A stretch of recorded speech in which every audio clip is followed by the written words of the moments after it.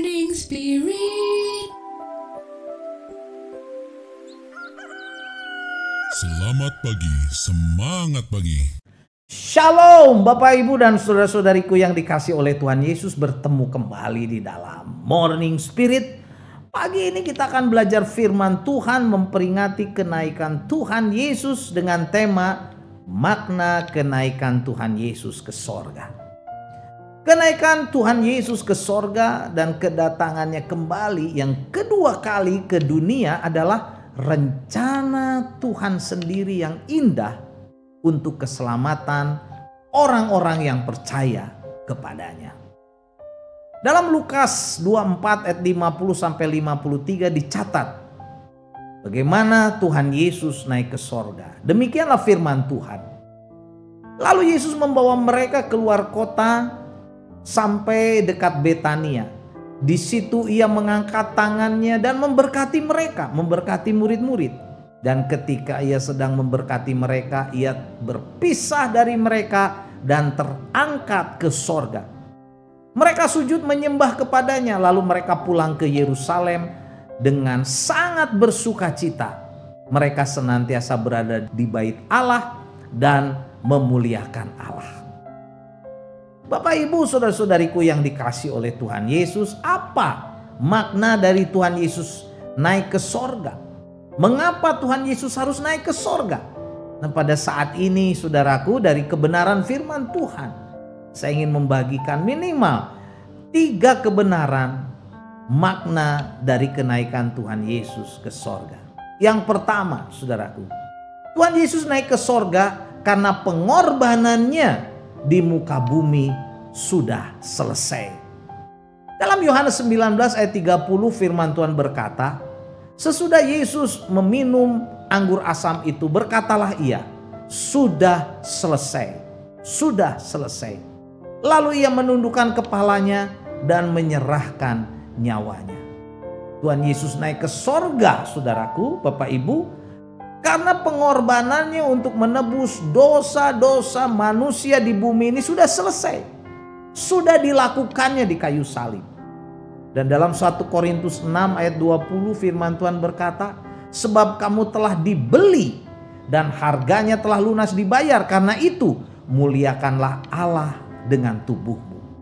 Jadi Tuhan Yesus datang ke dunia untuk membayar lunas saudaraku segala dosa-dosa manusia dan kita yang percaya kepadanya yang telah dibeli dan harganya telah lunas dibayar oleh Tuhan Yesus dengan kematiannya di kayu salib kita harus sungguh-sungguh memuliakan Allah dengan seluruh tubuh kita dengan seluruh kehidupan kita. Kita yang percaya kepada Tuhan Yesus jangan hidup lagi di dalam dosa kenajisan dosa kekotoran dosa-dosa yang saudaraku menyedihkan hati Allah. Dan kebenaran yang kedua, saudaraku, makna dari kenaikan Tuhan Yesus ke sorga adalah Tuhan Yesus naik ke sorga karena sesungguhnya ia atau Tuhan Yesus adalah Tuhan yang Maha Kuasa, saudaraku. Dalam Filipi 4 ayat 10 sampai 11 berkata, supaya dalam nama Yesus bertekuk lutut segala yang ada di langit dan yang ada di atas bumi dan yang ada di bawah bumi dan segala lidah mengaku Yesus Kristus adalah Tuhan bagi kemuliaan Allah Bapa. Jadi Tuhan Yesus naik ke sorga saudaraku dinobatkan sebagai Tuhan Allah karena dia memang Allah yang maha kuasa saudaraku jadi karena sesungguhnya Yesus adalah Tuhan Allah yang Maha Kuasa dan supaya bertekuk lutut segala yang ada di langit dan yang ada di bumi bertekuk lutut saudaraku dan segala lidah mengaku Yesus Kristus adalah Allah yang maha mulia dan yang maha besar. Dia naik ke sorga karena dialah yang punya sorga itu saudaraku. Bumi dan segala isinya. Yohanes 18 ayat 36 firman Tuhan berkata, jawab Yesus, kerajaanku bukan dari dunia ini. Jika kerajaanku dari dunia ini pasti hamba-hambaku telah melawan. Supaya aku jangan diserahkan kepada orang Yahudi Tetapi akan tetapi kata Tuhan Yesus, kerajaanku bukan dari sini.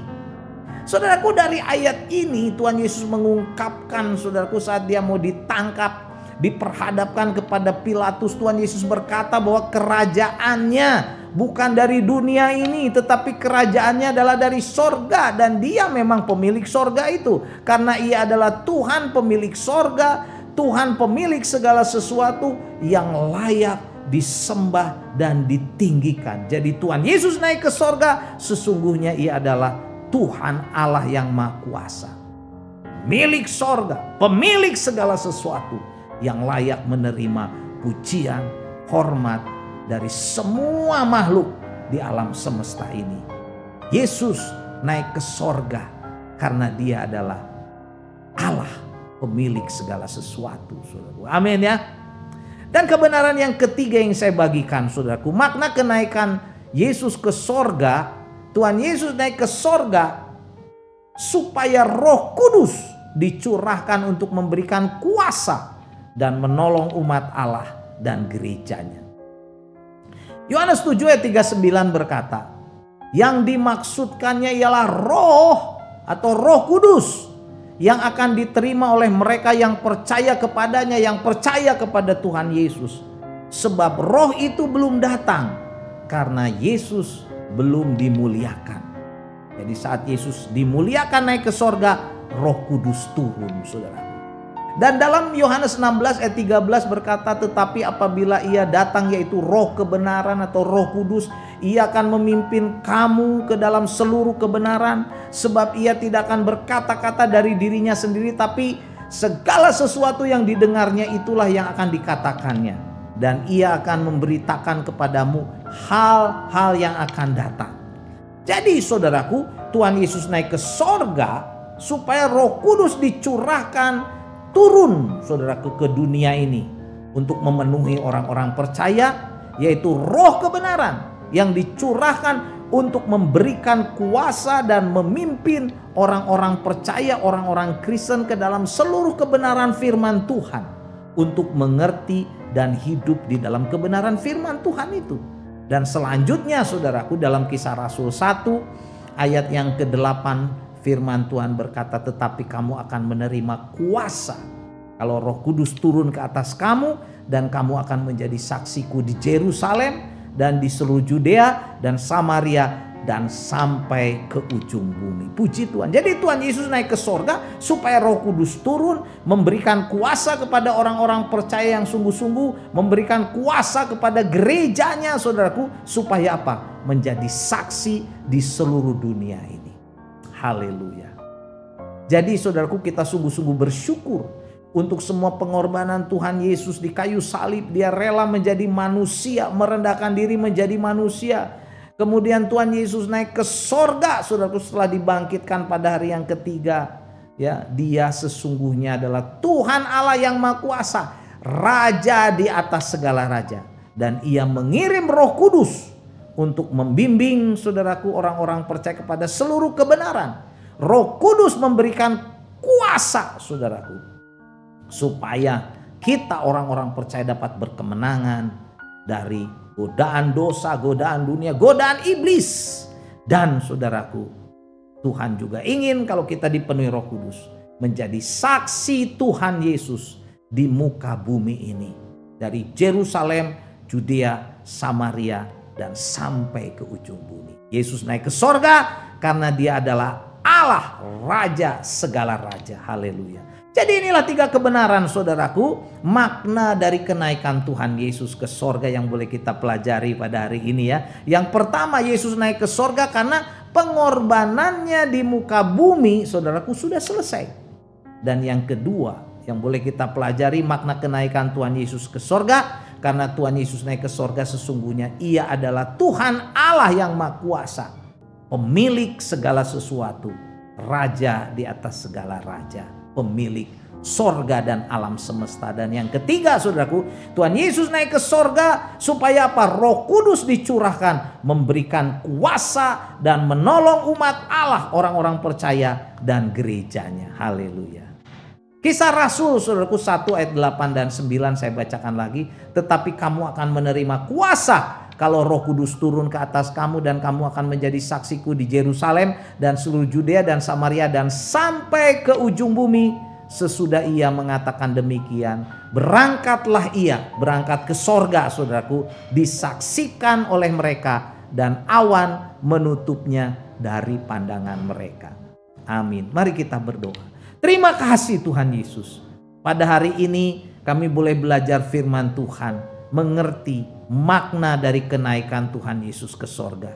Oh Tuhan terima kasih karena engkau naik ke sorga, karena engkau adalah raja di atas segala raja pemilik sorga dan alam semesta ini dan kau mencurahkan roh kudusmu supaya kami hidup berkemenangan boleh menjadi saksi menjadi berkat bagi banyak orang dalam nama Tuhan Yesus kami berdoa dan bersyukur Amin. Amin Bapak Ibu dan saudara-saudariku yang dikasih oleh Tuhan Yesus kalau kita diberkati oleh Morning Spirit ini. Jangan lupa klik like, subscribe, bunyikan loncengnya supaya bisa mengikuti Morning Spirit ini terus. Dan kalau kita diberkati, bagikan Morning Spirit ini kepada banyak orang. Sampai bertemu dalam Morning Spirit selanjutnya. Morning Spirit. Selamat pagi, semangat pagi.